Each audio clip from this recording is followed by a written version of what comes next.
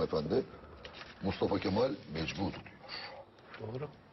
Size efendim programın başından beri, ilk dakikalarından beri gelen bir soru var. Evet buyurun alayım. Atatürk hakkında ne düşünüyorlar diyorlar. Hep genellikle bize bu soru sorulur da neden bir merak var? Yani A- Atatürk hakkında ne düşünüyoruz? Kötü bir şey düşünmüyoruz tabii. Zaten büyüklerimiz de hiçbir zamanda bir laf etmemişler. E, Mustafa Kemal'e zaten düşünemeyiz ki yani. Nasıl bir şey düşünelim? Yani kötü bir şey düşünebilir miyiz? İyi bir kumandan. Ama siz Ve bu vatana, bu vatana en önemli yeri kesme bir dakika. Müsaade et de.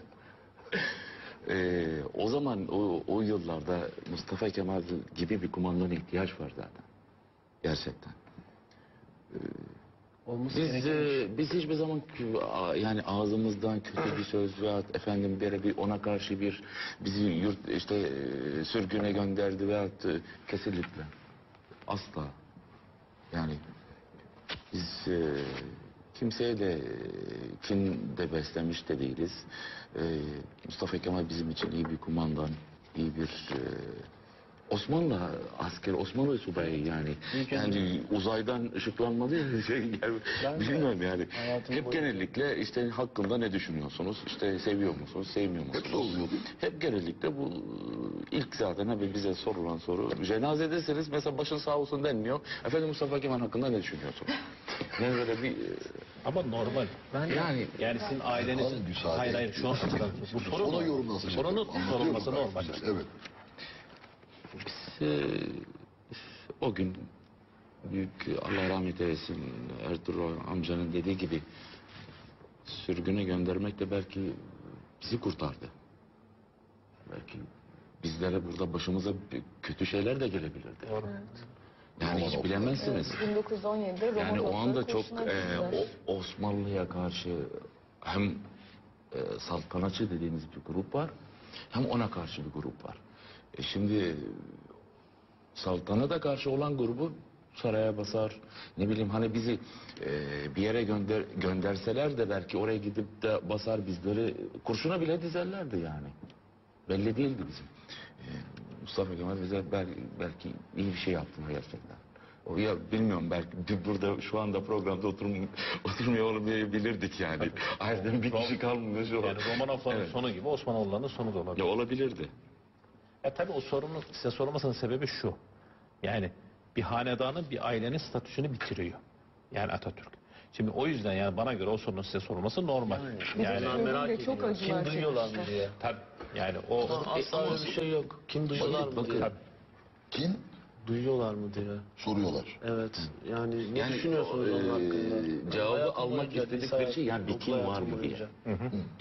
Kil olamaz kesinlikle. Çünkü biz büyük dedemiz e, yani Sultan Abdülhamid'in kardeşi Vahdettin Efendi, Vahid Sultan Vahdettin'in bu vatanı emin ellere terk etti ve e, biz inanıyoruz ki bizim hiçbir zaman e, biz kindar değiliz kesinlikle.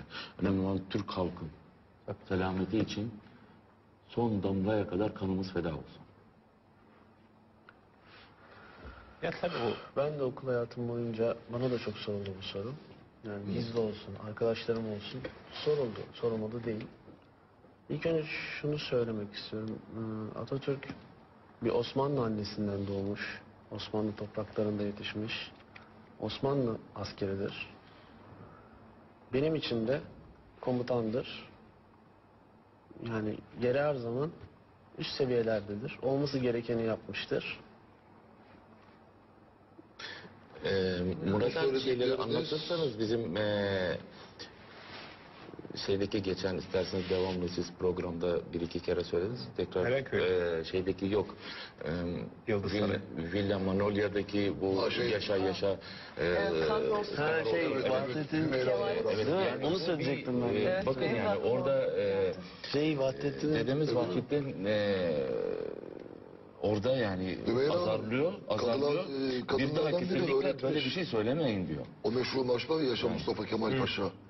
Ee, bunu söylüyorlarmış Sultan Vahdettin'in Minicik oğluyla çocuklar dayısıyla. değil mi? Torun. Ee, bir kalfa gelmiş aman cicim Şahbaban kızar demiş. Kahrol Mustafa Kemal Paşa de demiş. Bunlar da avaz avaz söylüyorlar. cam açıldı diyor. Keşke onun ses kaydı da vardı. Keşke getirseydim aklıma gelmedi. Ama çok yayınlandığı için şey yapalım aslında. Gelin yukarı demiş sinir içinde diyor. Kim öğretti o sözü size demiş. O şarkıyı öyle. İşte bilmem ne kalfa. Cahil kalfa demiş. Senin ağzını yırtarım bir daha demiş öyle söylersen. Padişah diyor bunu.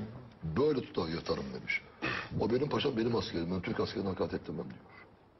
Ve Orhan Efendi amcan, büyük amcanız. Biz onu çok konuştuk. Ee, bilirler biz samimiydik rahmetliyle. Evet, evet. Bayağı samimi yani baba oğul gibiydik. Çok samimiydik. Ya dedim siyasi olarak söylemiyorsunuz da belki hiç mi şey yok içinizde? Bir burukluk bir şey. Bak dedi. Sürgünde dedi bir kere biz çocuktuk dedi. Ve bizim hayatımız Seracebe'deki konak Mektebi Sultani Galatasaray arasında e, yaverle gidip gelmekten geçer gezecek, gezeceğiz diye seviniyorduk der dedi. Onu ayrı bir taraf ama dedi. Boğaz'da o işgal sırasında donanmaların, işgal donanmalarının topları amcam Vahdettin'le bizim saraya, e, konağa çevrilmişti dedi. Dışarıda her türlü asker vardı. Bunları kovdu bu adam. Nasıl şey yaparız dedi. Yani dedikleri doğru. Ailede ben hiçbir şey çünkü bilirsin sen de çok yakın olduğun kişilerden var. Hiç böyle bir şey duymadım. Yani memleketi kurtardı derler. Ama bazı kişiler dedikleri gibi, söyledikleri gibi başka bir cevap alma ümidi ediyorlar. Hayır başka bir cevap Yani değil. Şimdi var bakın yani. bende beş tane çocuk var. Allah bağışlasın. Onu da bir söyleyelim de. Çocuklarım okuldan geldiği zaman eee geliyorlar böyle. Mesela bana hemen karşıma geliyorlar. İşte Mustafa Kemal'le ilgili bazı şeyler ezberliyorlar. Geliyorlar bana anlatıyorlar. Ben öyle bir baba olsa bilmiyorum ben oğlum burada. Hiç eee, bir anlatsın yani. Hiç İlkokul birden lise sonuna kadar hiç bir gün çekip de ay ben işte Ben Mustafa Türkiye. Cumhuriyeti'nde- Şöyle yapma, böyle yapma. Kesinlikle ve kesinlikle biz eee, Öyle bir şey şey, değiliz yani hiç. Ya bu Yani zaten- eee, bunu da artık bize de lütfen eee Sormasınlar. Murat Bey artık bütün basına da söylüyorum buradan da artık bize sormasınlar yani. Basın sorar. Evet. yani sormasın artık lütfen. Mustafa Kemal hakkında ne düşünüyorsunuz? Onlar Ben bizim ne hakkımızda ne düşünüyor?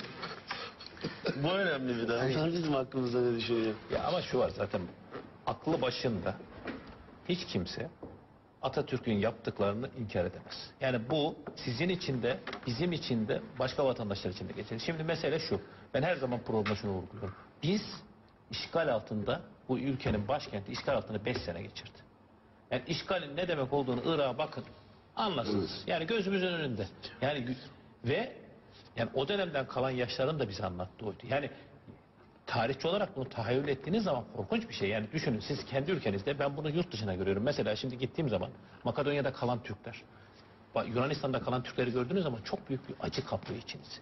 Kendi bayrağı dalgalanmıyor orada. Yani o durum burada da yaşanırdı ve bu ülkede Anadolu topraklarında eğer milli mücadele ve Atatürk'ün önderliği olmasaydı bu halkın önemli bir kısmı yok edilir. Yani bu açıktı. Yani çünkü e, o direniş de kolay bir direniş değildir. Ben onu her zaman vurguluyorum. Yani Yapacak tek bir kumandan vardı Mustafa Kemal. Tabii. Yani o Benim Hayrettin Tek bir şöyle kumandan bir şey vardı var. o zamanki o yıllarda o kafa yapısı ve eee, atılgan bir Tabii, eee, yetenek. yapısı var yetenek. Yani gerekirse Çanakkale'de bir milyon kişi şehit ederiz ama Çanakkale geçilmez. ve şey Ve böyle bir komutan lazım zaten. Yani şey o değil. zaman öyle. Zaten yani e, Sultan Vahdettin Han yani seçimini ve e, biliyorsunuz yani e, Murat Bey yani Sultan Vahdettin'in Mustafa Kemal'in üzerine durması Ha, tabii. yani Yağ İşte benim ım, düzeltmek istediğim bir şey var. Kendi neslinin yani üniversite öğrencilerin, lise öğrencilerin böyle kitapta gördüğü şeye bağlı kalmamaları. Yani ne bileyim hem negatifine yani. evet hem negatifine hem pozitifine bakarak daha objektif bakmaları.